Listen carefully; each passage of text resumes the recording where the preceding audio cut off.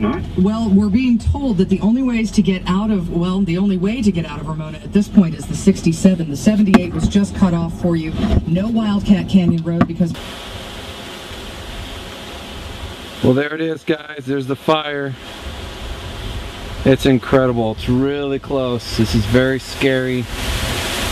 In that direction, you see the Wild Animal Park. And, uh, oh man. Just nutty. Just nutty. We might get an evacuation order.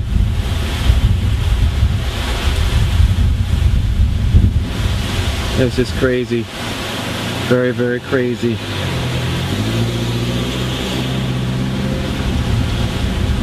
Got some friends down in that area. It's just awful. What you're looking at there is, uh, well,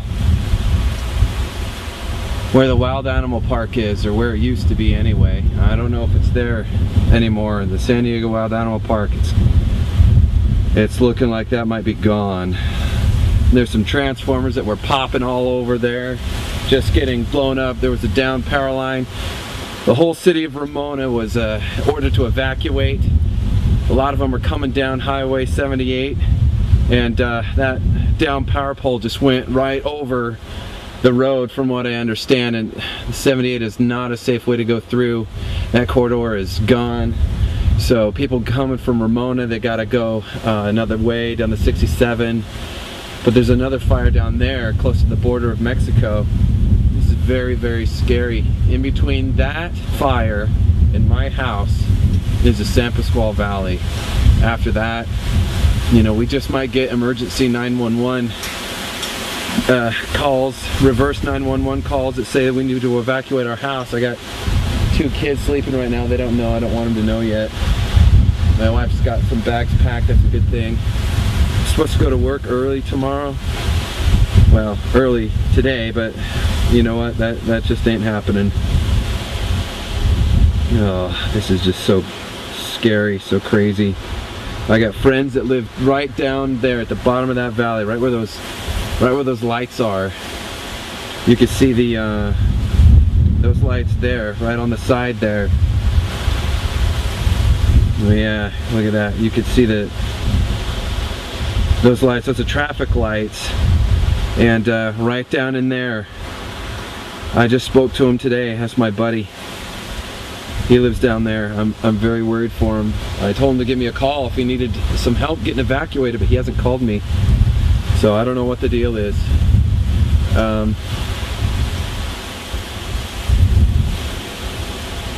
folks, this is this is uh, very surreal right now. I mean, it's biblical. It's biblical think of an invading army. There's nothing that the fire crew can do. You know, we're having gusts of 80 miles an hour in these uh, Santa Ana winds. It's, uh, you know, the the the uh, the fire crew can do nothing to stop it. Nothing. You know, all they can do is uh, uh, is flee to tell us to flee. And tomorrow, you know, and this is the nighttime. That's when the winds are supposed to die down. But again, you know, it's like 25 miles an hour with you know 70 mile an hour gusts of wind that's like hurricane force winds and uh, well it's just blowing through uh, tomorrow it's supposed to be worse um, it's very very crazy very scary what more can I say I mean it's just it's a nightmare we got all kinds of people trying to take a look to see what's going on. I mean, you know, you, you saw a flare up just a second ago.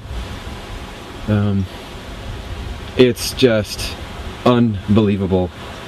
Unbelievable. This is our home. And it's all, see, there we go. There's uh, some more flames. And that saddle right there, that's uh, that's a, I believe that's a San Pasqual Battleground um, Museum. And um, who knows? I mean, it, I don't know if that's there. You know, there was a San Pasqual Academy there. I did my Eagle Scout project over there. And uh, who knows if, you know, that was years ago, but, you know, you want those things to survive for posterity's sake. So I don't think that that's going to be around. May or may not be. I really don't know if the animal park is there. I mean, that is that is where the wild animal park is, right in that saddle area. So it's just unreal. Here comes uh, another gust of wind here. A big gust, I think uh, that's maybe what the flare-up was over there. So now, uh, you know, the more wind that comes through, the more that uh, the, the fire gets fuel.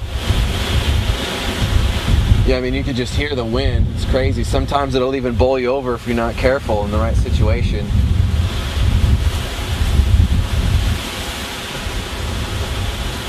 It's madness.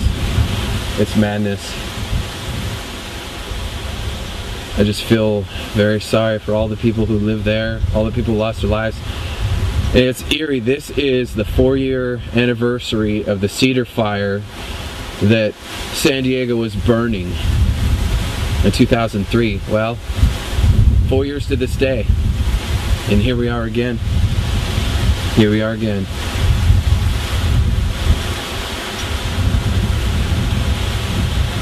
You can hear the wind now, it's just really picking up. All the trees above me are crackling. I mean, this place is a tinderbox.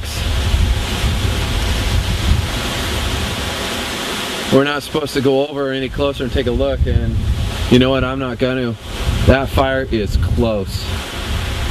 You know, you go to church, you see some smoke, and then you wonder, oh, where's the fire? You come home, you know, you spend the day. All of a sudden, Ramona, one part of Ramona is evacuating.